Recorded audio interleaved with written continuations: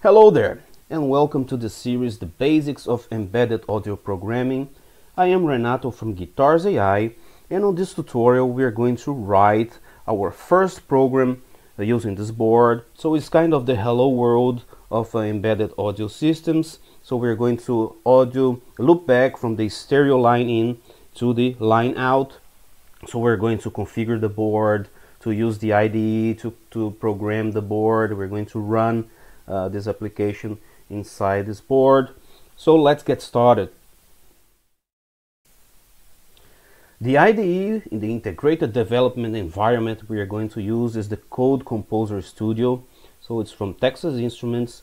So you can go to the Texas Instruments uh, homepage and download Code Composer Studio. I think you need to register for a free account to download.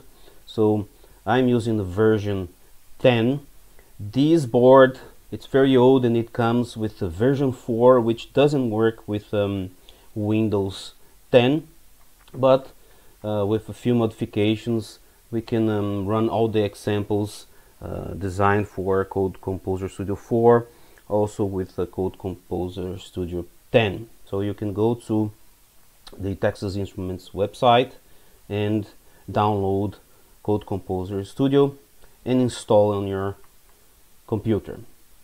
So the Code Composer Studio, it needs a workspace. So this is a folder where the projects are stored. When you start Code Composer Studio, it will ask you to create this uh, directory or set a directory as a workspace. And then we will need to install the C5000 compiler. That it's, uh, it doesn't come with the uh, installation itself and we need to install it separately. So I'm here at the Texas Instruments homepage. We can search for Code Composer Studio, download.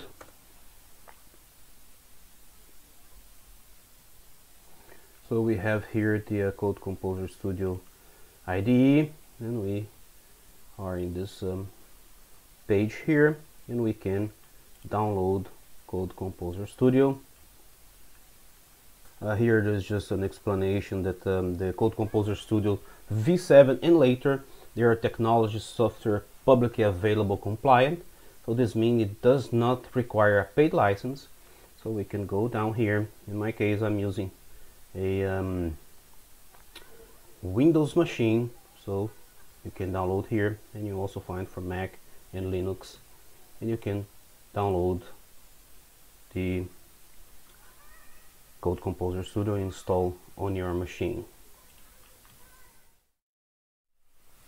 So we can start a Code Composer Studio and when you open it the first time it should ask you to set up a, a directory for the workspace but you can also select the workspace from here so what we need to do now is go to view CCS App Center and then you need to find here the C5500 compiler. In my case it's already installed so you should click here to select like uh, you can select these other ones. Once you select you can go and install software. So after that probably you need to restart code composer studio and maybe restart your computer but you need to make sure that you have the C5500 compiler installed. Now we will create a new project. So you need to go to file new CCS project and then we need to, conf to configure the following project settings. We need to choose the target the connection type, give it a project name, uh, the compiler version, the linker command file we need to leave it empty, the runtime support library we need to choose this file, and then we also need to choose an empty project because we are going to copy files from the example uh, to this uh, the folder that will be created called hello world inside the workspace and then we will click on finish then we will copy or unzip the files for the um, hello world example into this folder So after you install the C55 compiler and then you relaunch the um, Code Composer Studio, we can go to File, New, CCS Project. So here we have the uh, new CCS project. We need to choose the target to be the C5515 and this is our board the TMS 320C5515 then we need to choose this Texas Instruments XDS 100 V2 USB debugger probe. We are going to give our project a name hello world. And it's going to uh, create this folder hello world inside the workspace. The compiler version there's just this here and here we need to leave the linker command file to none and the runtime support library is this file here and the project is empty project. So we can finish and it creates our empty project here. Now we have here this application one getting started zip file with all these C Uh, files here and I'm going to extract this to my workspace. So I'm going to the Texas workspace the folder hello world and I'm going to select folder and I will extract. So now when we go back here we have our hello world project and we have now the files that we extract or copied to the hello world folder inside our workspace. So the hello world is the active project for debug and we can view the main c.c file if we double click on the project explorer window.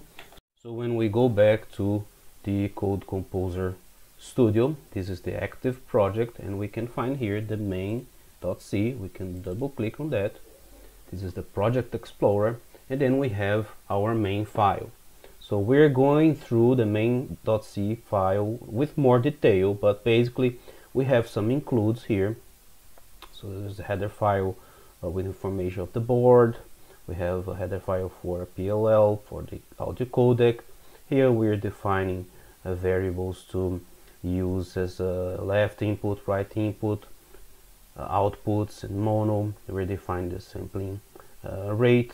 Here is the main function. So we initialize the board initialize the PLL initialize the codec the audio codec uh, and then we will simply run through loop through the samples and then we'll convert left input to mono signal and then we're assigning the left input to the left output right input to the right output and we're writing in the audio codec. And when we finish we disable put codec into reset and the program is terminated. So basically this is what we're doing for our hello world. We're playing the left and the right inputs to the left and the right output but we are converting to a mono input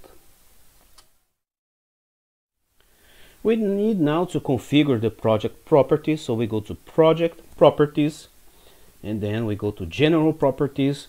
It's a good time to connect the eZdsp board to your PC and then we need to make sure that we have this connection for the XDS100 V2, that we have no file for the linker command that we have this file for the runtime support library.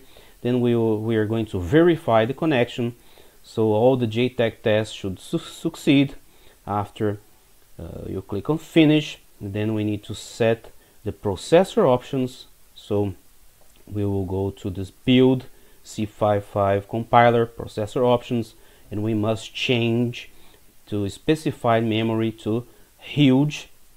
So this is a very important step that we need to do here. Then we need to go to the advanced options to the runtime model options and we need to change the specified type size to hold results of pointer math to 32 so by default here is 16 we need to change that to 32 and then we are ready to build the project. So we can go here to put this here project project properties so on the general property we need to choose here the Texas Instruments XDS so we already set the C55 and this is the target is the C5515 now we can verify. So a lot of uh, JTAG integrity scan test succeeded. So it's all fine. There are no errors. So we can finish that. So now we need to go to processor options and we need to change this um, specify memory model. We need to change it to huge.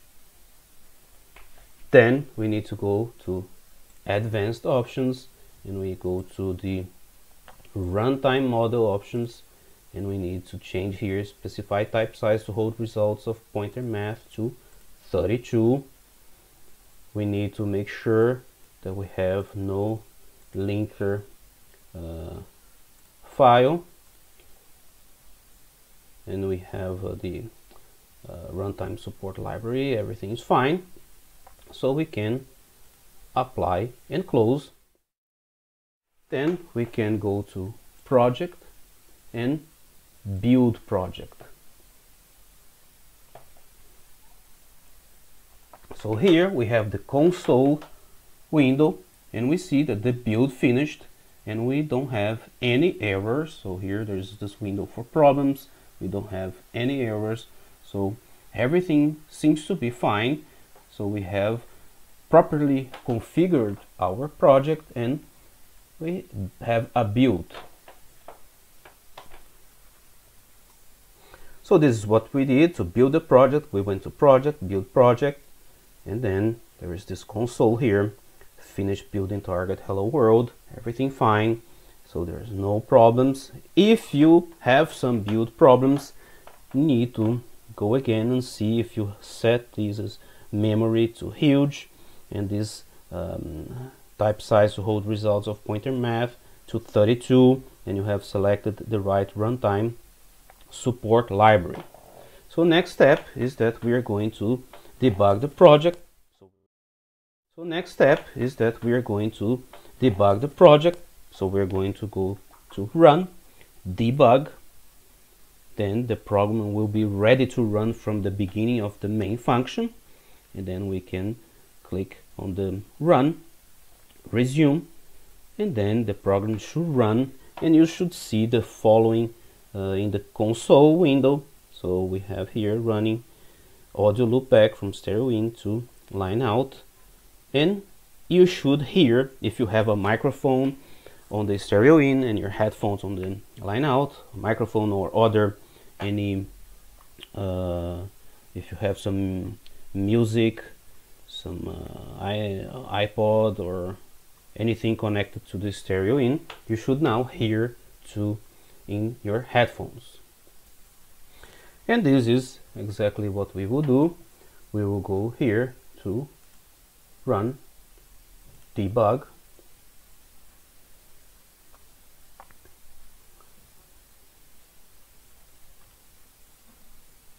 so we have here the we're inside the main, fu main function and we can click here resume and we see here on the console we have this uh, register config values the PLL running get getting started project audio loopback and now you can hear from uh, the stereo in to your headphones.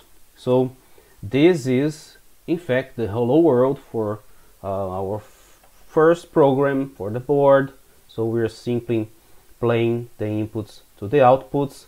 We're going into more details into each of these functions what um, they're doing. We were talking about the PLL. So we see here there's also an uh, assembly instruction here without any uh, detail. So we also need to uh, look at that. And then we'll start taking a look into other examples. To terminate the program, we can just click here to this uh, stop and then we are back to this editing mode and we're out of this debugging session. So that's it for our first tutorial. We uh, will go into detail uh, later on to study what all these functions are doing and see you later